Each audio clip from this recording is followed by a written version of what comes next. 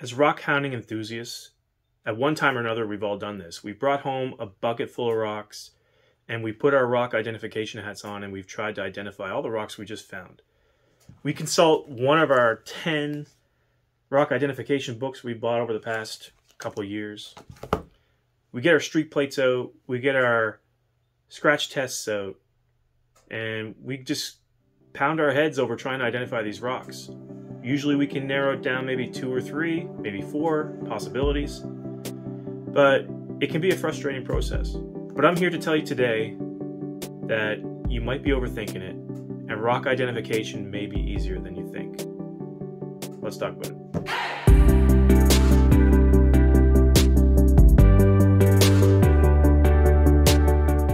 Hey everybody, welcome back to the channel. Rock Hounding Life here. It's been a busy week. We're super busy with the Makers Challenge, but I thought I would do this video because I wanted to talk about rock identification. Every week I get emails from viewers asking me to identify rocks. They send me pictures and I love doing it, by the way. Keep sending those. I love looking at your rocks and trying to figure out what they are. But usually the first thing I ask when I see a picture is I'll ask, where did you collect the sample from? Or do you know the location where this was collected if you didn't collect it yourself? Identify this rock. Uh,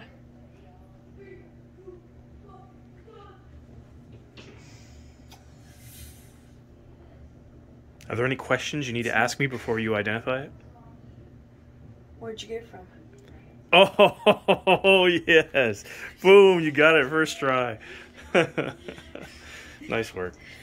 That's the most important piece of information that I, in my own opinion, will require in order to identify a rock. If I know the location, then I can do the research on what the geology is in the area, what rocks are typically found in that area.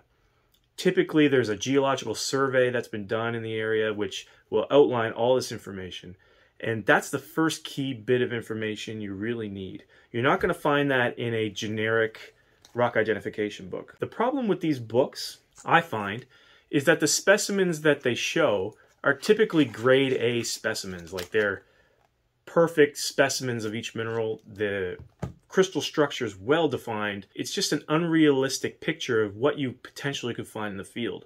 So I would be very cautious when consulting a book like this. I'm not saying all these books are bad. Some of them are pretty good. I like seeing the different types of minerals and the, the crystal habitats and the structures, but you need to be careful when you're consulting books like that, especially when comparing rocks in your area to rocks that have been collected at world-class locations around the world. So you don't want to get into that habit because a lot of times the rocks you're going to find are not going to be as spectacular as the rocks you find in those books. So it's going to be hard for you to kind of connect the dots as far as identifying the rocks. Now, what I do find these books good for is the information on the physical properties like hardness, streak color, crystal structure, cleavage, all that information will be in here.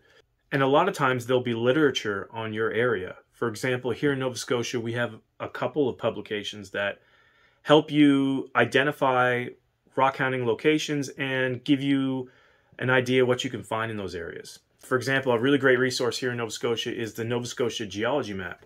It's just a map that, you know, has a map of Nova Scotia. Uh, I'm not going to open it here. It's just going to be too big for the screen. But it has, basically, I open this up, and it's just a map of Nova Scotia.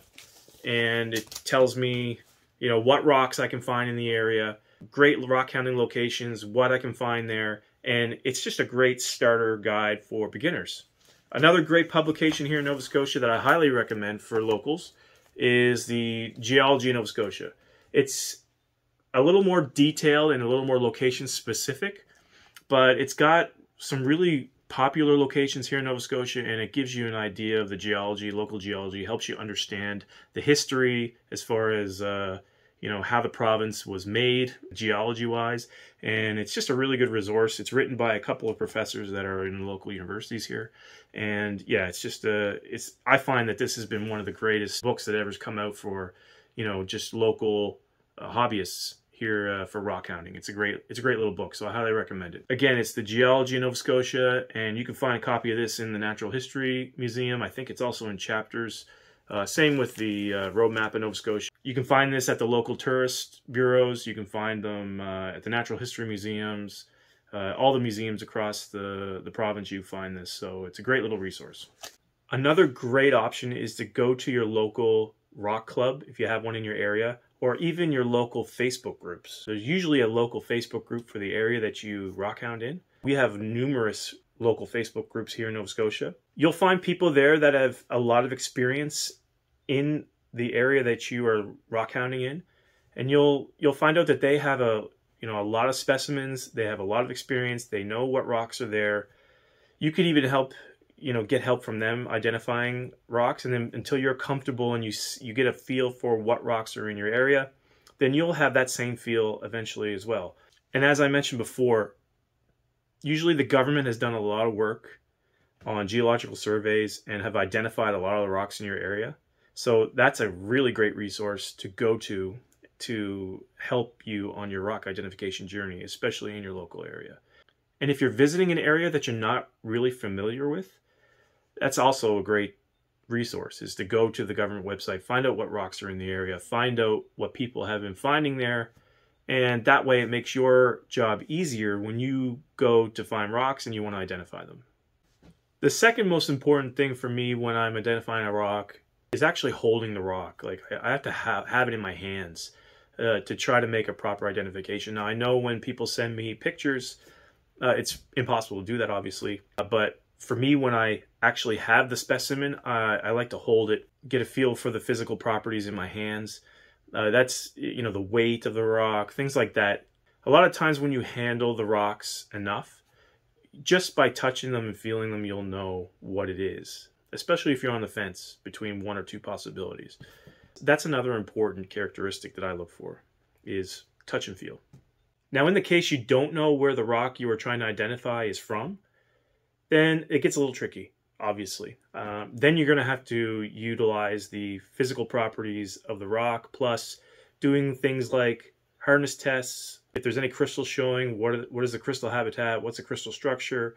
Can you see any cleavage planes? Things like that. You're going to have to use those tools. And again, those are all outlined in these rock identification books. Usually they'll have all that information there for each mineral and you could try to match up what you have to that. That's the frustrating part is when you're not quite sure. That's why I say if you do know where the locality is, you need to go and try to find out what rocks have been found in that location. It's through a process of elimination. You know what ones aren't found there, but you know which ones are. It makes it a lot easier to identify. You're eliminating a huge amount of possibilities and just narrowing it down to a couple. And that's the best advice I could give is, uh, you know, most of us know the areas that we're rock hounding in. So, you know, it's easy to gather information. Do the research, do your due diligence in finding out what rocks are there. It's going to take a little bit of, of looking up on the internet, but trust me, uh, I think it's a lot more rewarding than trying to thrift through pages of a book and trying to figure out, you know, what my rock is, especially when the pictures don't match what I have. Anyway, guys, that's my two cents. Thanks for watching the video. Makers Challenge video coming next week, so stay tuned for that. Real excited for the whole week of videos. Looking forward to everybody's project. And yeah, I hope everybody has a great week, and we'll catch you on the next one. See you later.